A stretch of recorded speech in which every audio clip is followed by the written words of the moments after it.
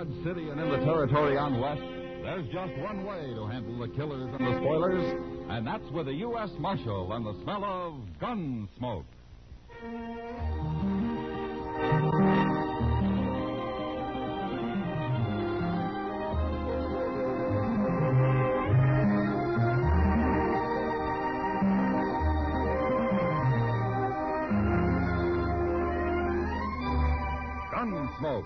Starring William Conrad.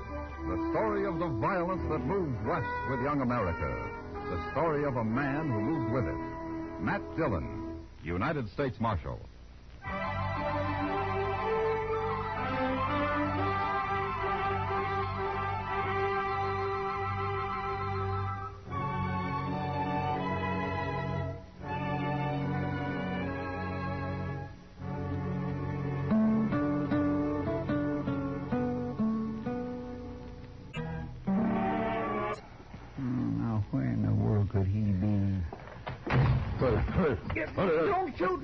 Mr. Dillon. It's Chester. hey, hey, oh, you darn fool.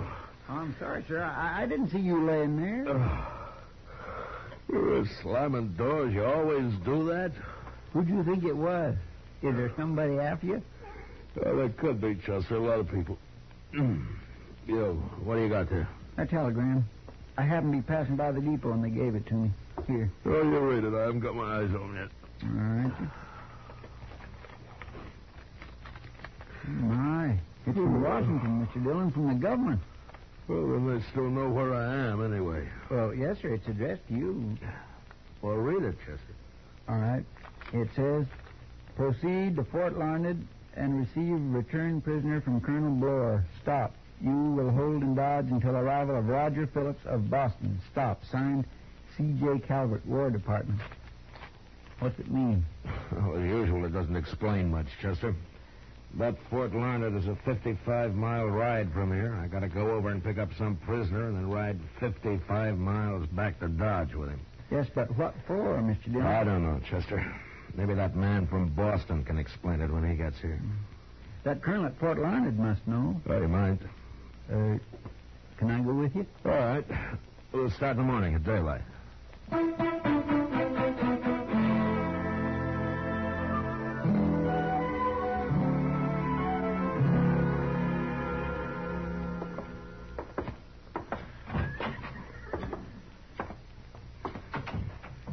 Chair, Marshal. Oh, thank you.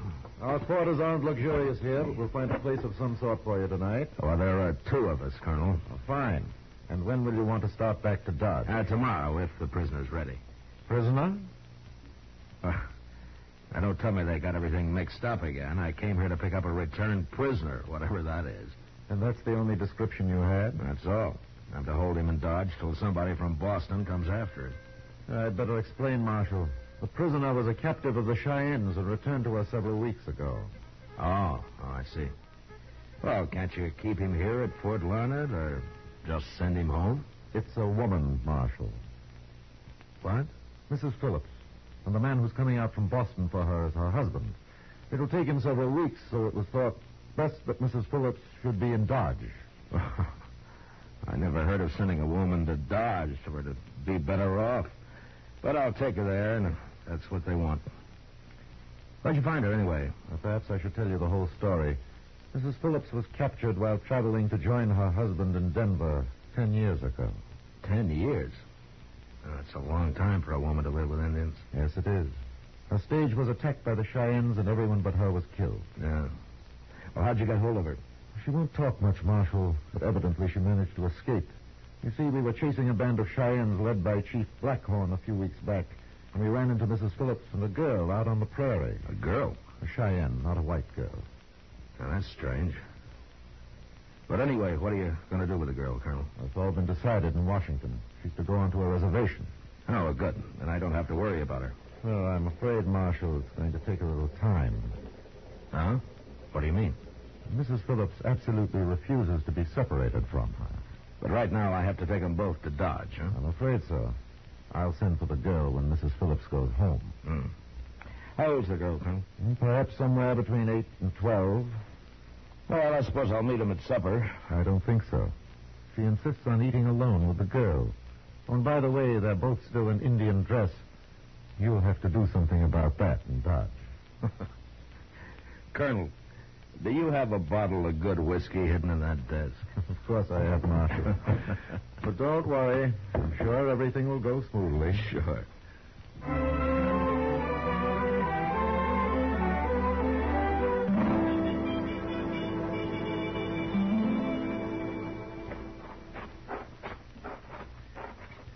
I'll ask the colonel if he can spare a wagon, Chester. Well, it's going to be an awful slow trip in a wagon. That can't be helped. At least we're getting an early start. Yes, sir. Hey, by golly, there's the colonel. Soldiers always get up early, Chester. That would keep me out of the army all by itself. Well, good morning, Colonel. Good morning, Marshal. Chester. Good morning, sir. Mrs. Phillips is waiting inside, Marshal. Shall we go in? Oh, uh, well, you better stay here, Chester. Yes, sir.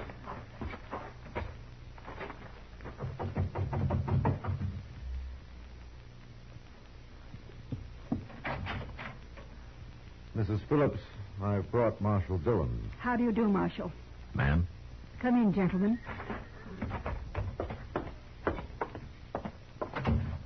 This is Gray Fawn. You may call her Fawn if you prefer. No. Uh, does she speak English, ma'am? A little, but you mustn't expect her to talk. She's a little too frightened of white men. I've uh, come to take you to Dodge, Miss Phillips. I know. It's very kind of you. We're ready. Good. I forgot to ask you, Colonel, if I could borrow a wagon. Why, certainly, Marshal. And I'll send a soldier along to drive it. That won't be necessary, gentlemen. Fawn and I have horses, and we can ride. That's a long trip, ma'am. I'm sure we've made longer ones, Marshal. We're ready to leave when you are. I'll have your horses brought up at once, Mrs. Phillips. Thank you, Colonel. It's 55 miles, ma'am, and uh, there's no place to spend the night. You forget, Marshal. I've been a Cheyenne for ten years. All right. Well, let's get started.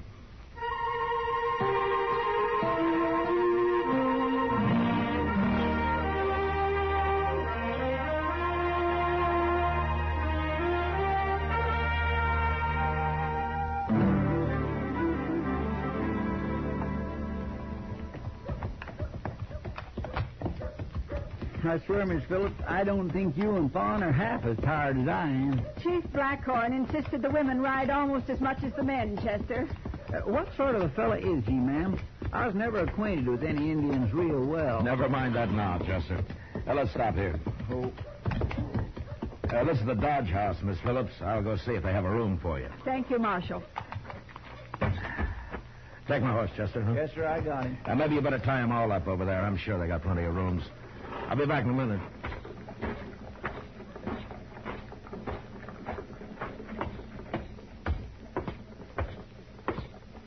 Ah, good evening, Hank. Uh, hello, Marshal. Where you been? I, uh, got a couple of women outside, Hank. They'll want a room here for maybe, oh, two weeks. And so? Sure, Marshal, sure. I need some guests in this place. Two weeks, and that's fine. Uh, give me your best room. Uh, they've come a long way. certainly, certainly. You just bring them right in. Chester, Yes, sir? it's okay. Come on in. Where are they from, Marshal? Well, it's a long story, Hank, and, uh, don't ask them. Okay. Well, I'll be. Is this them? This is Hank Reisling, Miss Phillips. Mrs. Phillips? I'll uh, get you some different clothes tomorrow, ma'am. That's all right, Marshal. You really a white woman? Yeah, of course she is. Hmm. What about the girl? The girl's Cheyenne, but she's staying with Miss Phillips. No, no, not here she ain't. Now listen to me, Hank.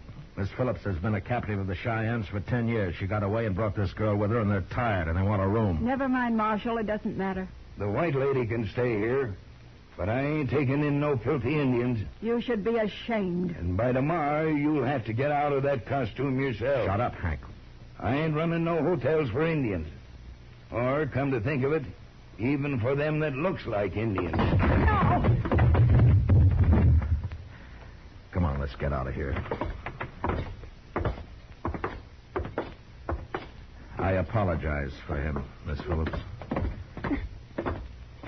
There'll only be trouble. I knew it. Now, I'll find a place for you. Don't worry. Chester, Hmm? go over there and get Kitty, huh? Tell her I want to see her right away. Yes, sir. It isn't going to work, Marshal. Now, ma'am, nobody's going to bother you. I promise you they won't. It's been so long. So much has happened. But you've escaped now. You're out of it. No.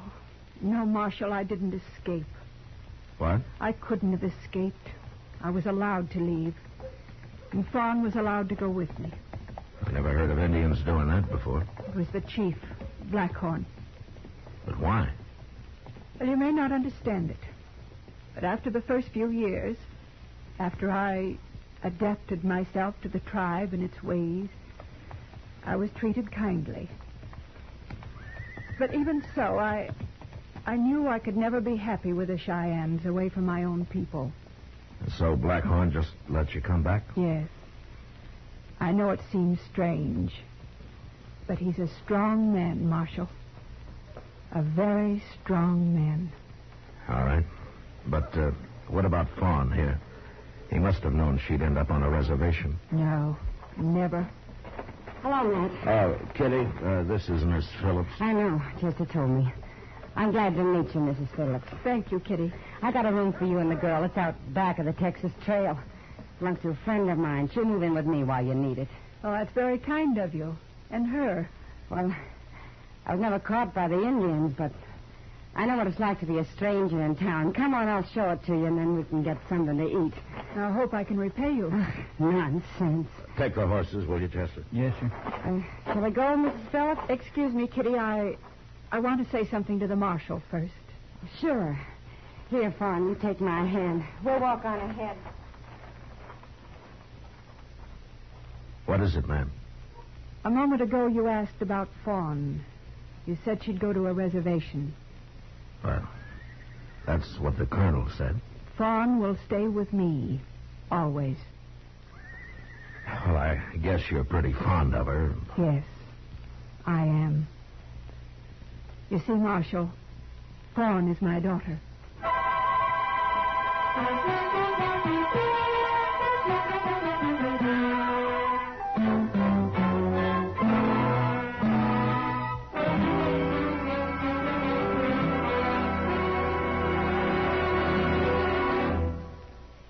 We will return for the second act of Gunsmoke in just a moment. But first, tomorrow in the daytime on most of these same stations, CBS Radio welcomes to the network the distinguished conductor Leopold Stokowski to conduct the new musical series 20th Century Concert Hall. Mr. Stokowski conducts the CBS Radio Chamber Orchestra in the radio premiere of Nikolai Berezowsky's Adagio from the Sextet Concerto. This is a radio premiere in tribute to the composer who was with the CBS Radio's orchestra for 22 years until his death last month. 20th Century Concert Hall starts tomorrow. Now the second act of Gunsmoke.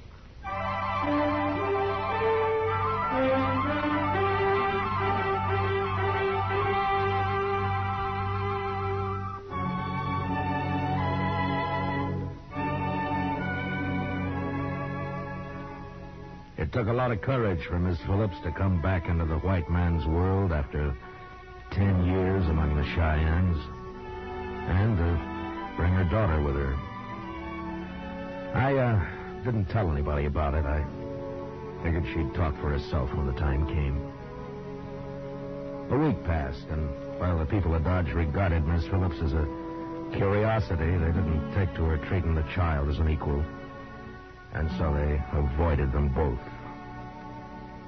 Kitty looked after them, though, and I saw them whenever I could. But it was Doc they really impressed. I never saw such a pair, Matt. Why, well, they'll live to be a hundred, both of them. they look healthy, all right. Ah, there are a couple of chairs, Doc. Let's sit a while, huh? Oh, yes. Oh. I swear if I wasn't so old, I'd go live with the Indians myself. Don't think you'd like it, Doc. I wouldn't. Why not? Too much work. Oh, no, not for me. As far as I can tell, there wouldn't be no patients. They're all too healthy. oh, before you go, Doc, tell me something, huh? Huh? Do you uh, think the girl is as frightened as she was at first? Oh, she'll come out of it. Just give her time. This is quite a change for her. Yeah. Yeah, it sure is. There's one thing about Fawn, though. What? She isn't pure Cheyenne. Well, she isn't. You know as well as I do that she isn't.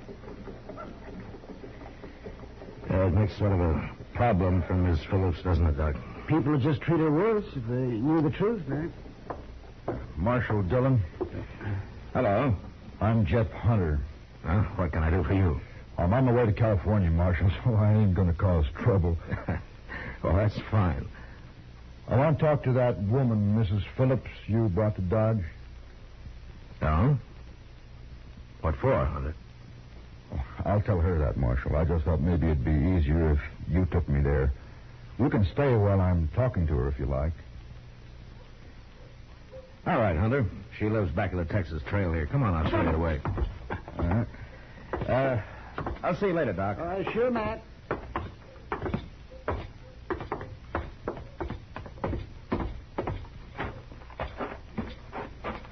You live around here? I've been ranching, Marshal. It's too cold winters. I'm going to California. No. Yeah. Family? No, I'm alone. No. Ah, here we are.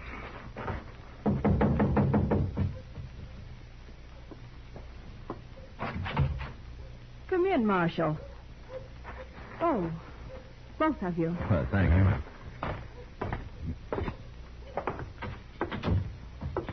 Miss Phillips, uh, this is Jeff Hunter. How do you do? Proud to know you, ma'am. He uh, wants to talk to you, Miss Phillips. He looks like a good man to me, or I wouldn't have brought him here. Oh, you're most welcome, Mr. Hunter. Miss Phillips, I heard your story, uh, some of it anyway. I thought maybe you might know something about my wife. Your wife? Yes, ma'am. The Arapahoes captured her about seven years ago. I know there's some Arapahoes and Cheyennes that are friendly, and I was wondering if you ever heard of her. Her name was Ruth. Oh. The Arapahoes had a white woman once. Blonde, captured on the Solomon River. I never met her, though. My wife's a blonde, and that's the place it happened. Oh. Mr. Hunter, when I heard of her, she'd already died. I'm sorry. Ruth never was very strong. Shouldn't have brought her to this country. It wasn't your fault, Mr. Hunter. Things just happen sometimes, that's all. Maybe it's better she died. That could be. I hope it wasn't too hard for you, ma'am. It wasn't easy. That's right pretty little girl. What's her name? We call her Fawn. That's a pretty name, too. She takes after you, ma'am. What? Well, of course, she's a little different in color, but she kind of has your mouth. Marshal. You know I've never said a word, Miss Phillips. Mr. Hunter, how'd you know Fawn's my daughter? Why, I just knew, that's all. How'd you know? Well, I heard there was a little girl. Nobody said so, but I figured she must be yours. And then when I saw her just now, I knew she was. I, hope I haven't said anything to trouble you, ma'am. No. No. You haven't. But people have already made it hard. Sure. People talk, but they don't know. They got no idea what it was like. That's very true. I Figured you were lucky you were able to bring her with you. Mr. Hunter, Fawn is a chief's daughter, Blackhorn. It was he who allowed us to leave the tribe. I'll be going now, ma'am. I hope everything will be all right with you. Goodbye, Mr. Hunter. Goodbye. Thanks for talking to me. I'll see you later, Miss Phillips. Yes, Marshal.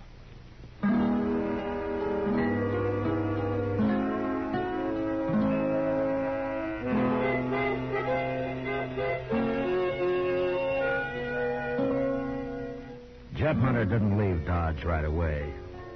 Kitty told me that he ran into Miss Phillips on the street the next day and they had another conversation. Later, I heard he took her and the girl fishing. I figured he was good company for him, and no harm could come of it. I was busy, and I sort of forgot about him for a few days. When one morning a man walked into the office. Uh, Marshal Dillon? Uh, I'm. Uh, I'm Phillips. Roger Phillips. Uh, I, I've come for. Uh, for my wife. Well, when did you get into Dodge? Oh, I came in the Santa Fe last night. Last night. I thought it wisest to wait till morning. Oh. Well, it's your business, Phillips. Chester, Hmm? go tell Miss Phillips her husband's here. I'll bring him over in a few minutes. Yes, sir. I'll go tell her, Mr. Dillon.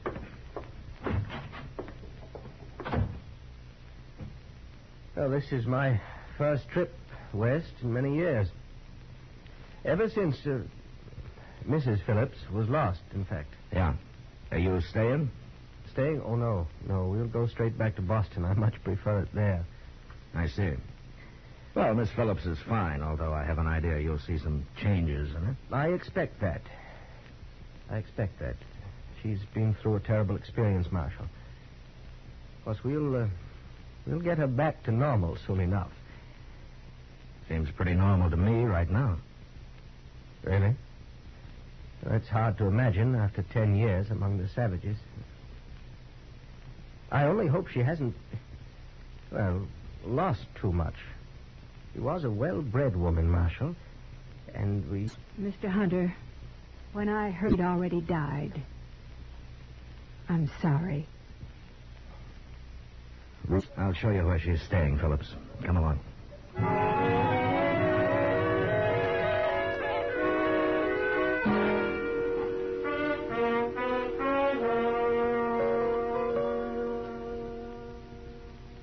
I sure didn't think much of him, did you, Mr. Dillon? Uh, not much, Chester. Hmm. Awful uppity. Seems a shame. A fine woman like that. Well, maybe she can handle him. If he's worth handling. It's not our problem, Chester. Well, no, sir, I guess not. Marshal, I want to talk to you. Good morning, Miss Phillips. Good morning, Marshal. Now, Marshal, you listen to me. Yeah? What is it? Well, I've just learned the full truth. I understand you've known about it all along. I hope you'll forgive me, Marshal. I told him you knew. There's nothing wrong with that, ma'am. The whole thing is wrong. A girl will go to a reservation where she belongs. This was arranged in Washington. No, Marshal. Roger. Never, never. Now, wait a minute, ma'am. Look, Phillips, the colonel at Fort Larned, told me the arrangements, but he didn't know the facts, and neither did the people in Washington. Things are a little different now, don't you think? Well, you can hardly expect me to take that girl back to Boston. It's up to you, I guess. Well, then go over there and get her, Marshal. And hold her here in jail until we leave Dodge, and then you can do what you like with her after that. Roger. You must be a pretty big man in Boston. Of Phillips. course I am. But this is Dodge City. Nobody ever heard of you here. Now, why don't you calm down and decide what you're going to do? I know what I'm going to do. I won't leave her, Roger. I won't have her around, here or anywhere else. Then I'm sorry. What do you mean you're sorry? Go back to Boston. I'll stay here. Do you know what you're saying? Yes, I do. I'll divorce you. You'll never get a penny. I don't want your money. I wouldn't have it. Very well, then. Stay. No longer anything but a squaw anyway.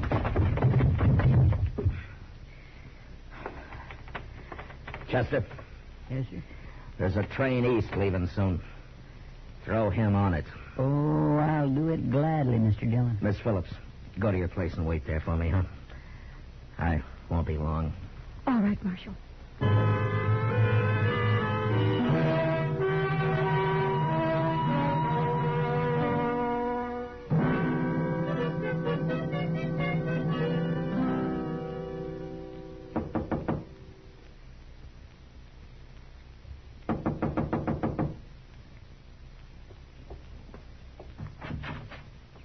Come in, Marshal.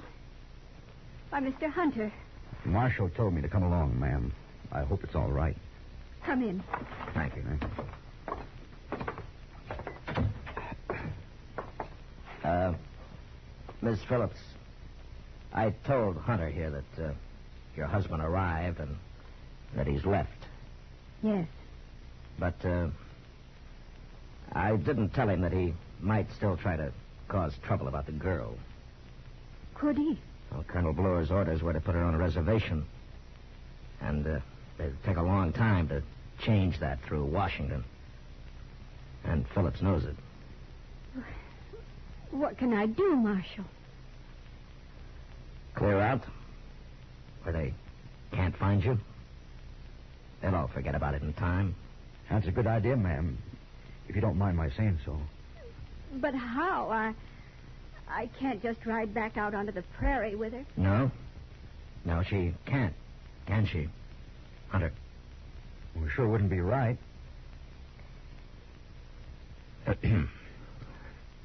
well? Ma'am, Yes. I'm headed for California, like I told you. I can leave any time. I got plenty of room for two more, like you and your pretty little girl. Do you really want us? Well, I'll tell you. I've been waiting around Dodge so as I'd be sure that you were going to be all right. Uh, you understand? Yes. Yes, I understand. No, sir, I guess not. Marshal, I want to talk to you.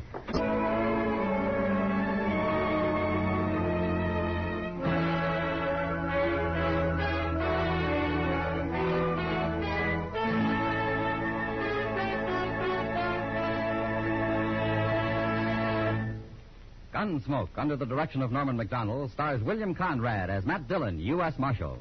Tonight's story was especially written for Gunsmoke by John Meston, with music composed and conducted by Rex Koury. Featured in the cast were Helen Cleve, John Dehner, Edgar Barrier, Lawrence Dobkin, and Leo Curley. Parley Baer is Chester, Howard McNear is Doc, and Georgia Ellis is Kitty. And now an announcement of interest to many of our listeners.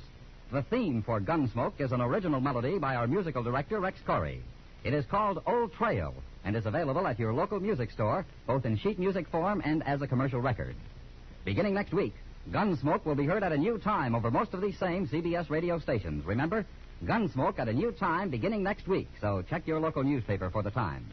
Be sure to join us again next week as Matt Dillon, U.S. Marshal, fights to bring law and order out of the wild violence of the West in Gunsmoke.